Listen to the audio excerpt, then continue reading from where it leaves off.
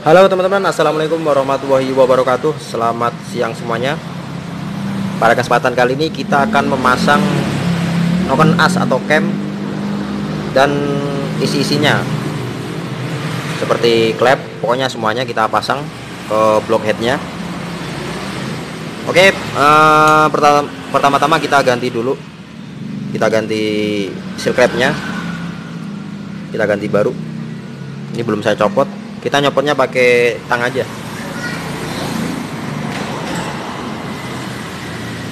Langsung cabut aja ini seal clapnya nah ini teman-teman kalau turun mesin ini wajib diganti ya.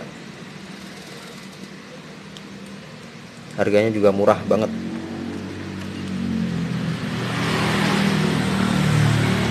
Nah cara nyopotnya gampang banget tinggal narik pakai tang lancip kemudian kita ganti. Ini masangnya juga gampang tinggal neken aja.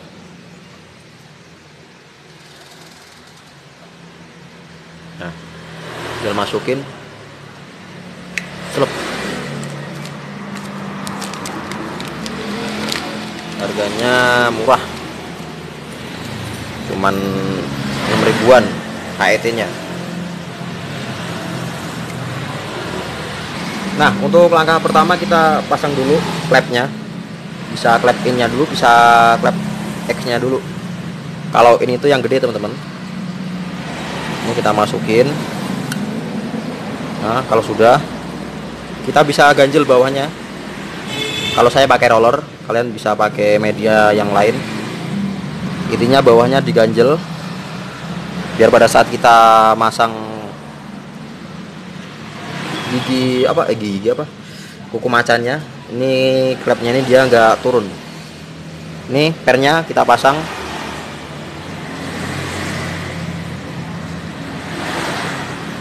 Ini untuk kalau beat itu pernya ada yang renggang ada yang renggang ada yang rapat kalau rapat dia di bawah teman-teman. Kita pasang terus kita pasang tutupnya. Nah sekarang kita pasang kuku macannya. Ini ada dua ya teman-teman. Setiap satu klep ada dua kuku macan.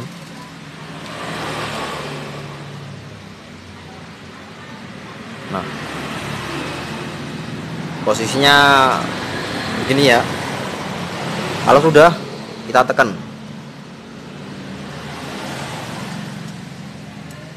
Nah gampang banget. Nggak ada kalau masang klep itu kuku macan itu nggak ada berapa nggak ada berapa detik tadi. Cuma tiga detik udah masuk. Ya udah dipastikan kenceng ya teman-teman. Kalau ini kita tes kita ini pukul pelan-pelan berarti udah masuk. Intinya kalau udah rata berarti udah masuk teman-teman. Hati-hati kalau belum masuk. Jangan ngelihatnya jangan deket. Takutnya ntar ini keluar kena mata kita. Jadi pastikan dulu pastikan rapet. Nah ini kan udah masuk tuh. Jadi kita nggak usah pakai kunci T nggak usah pakai apa udah. Kalau buat motor matic mah gampang. Kecuali motor tiger itu harus pakai alat. Kalau nggak pakai kunci T ditekan soalnya dia keras. Nah ini udah masuk. Kemudian kita pasang klep yang X nya sama bawahnya kita ganjel pakai roller kalau nggak punya roller ya pakai yang lain. Oke untuk cara kedua kita bisa menggunakan media ganjel teman-teman. Kita ganjel pakai bekas plastik apa uh, seal clapnya tadi. Kita taruh atas. Ini kita injek bloknya biar nggak buat nahan biar nggak biar nggak goyang. Terus didorong pakai kunci T. Ditekan aja teman-teman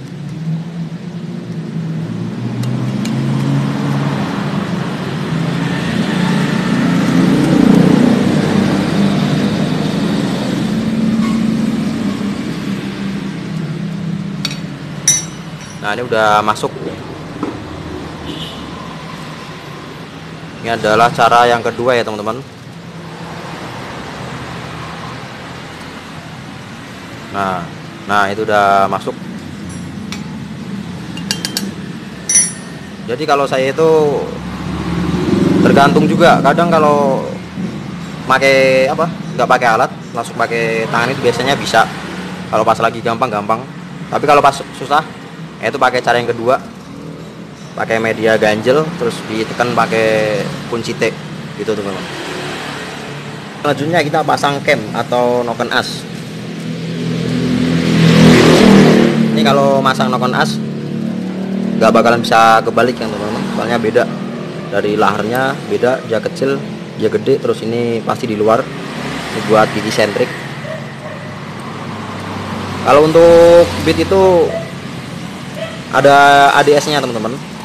Ini ADS itu kepanjangannya automatic decompression system. Fungsinya untuk membocorkan kompresi supaya pada saat kita nyalakan motor pada saat kita selah itu gak berat-berat banget. Jadi selahnya itu normal enteng. Tapi nggak enteng-enteng banget intinya gampang gampang diselah gampang dinyalain. Fungsinya ADS itu itu. Oke langsung kita masukin nah ini udah masuk.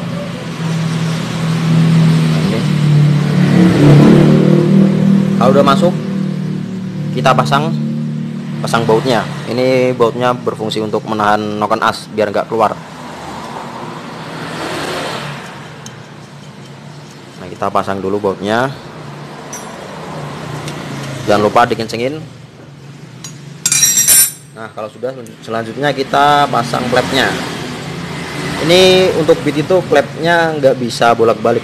Dia ada in outnya. Maksudnya dia nggak bisa bolak-balik. Beda antara klip in sama outnya itu beda.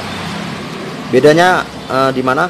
Pertama di sini sudah ada tandanya i kalau in ada tandanya i kalau x ada tanda ada tandanya e nah ini nah itu e. Tapi di sisi lain dari segi bentuknya juga beda. Kalau in dia polos kalau X dia ada tonjolannya sedikit. Nah ini.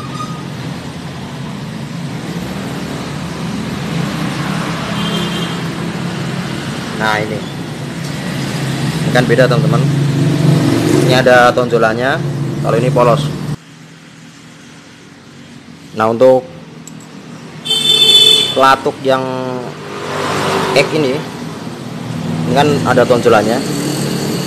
Ini fungsinya dia ntar uh, ini apa bersinggungan dengan ADS jadi ADS neken si klep eh si klep apa?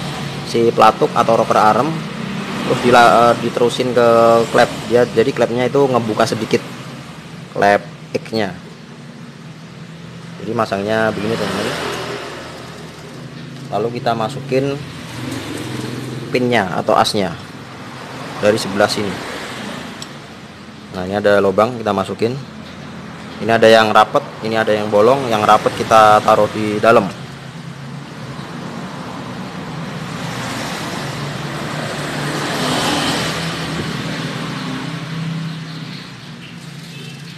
Kita tekan.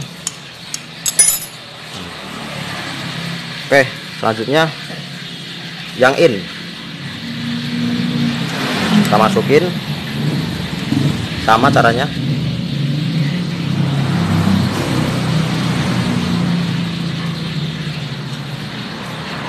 Nah udah selesai. Gampang teman-teman.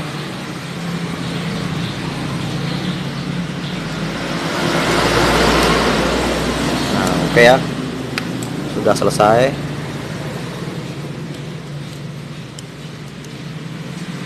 ini tampilannya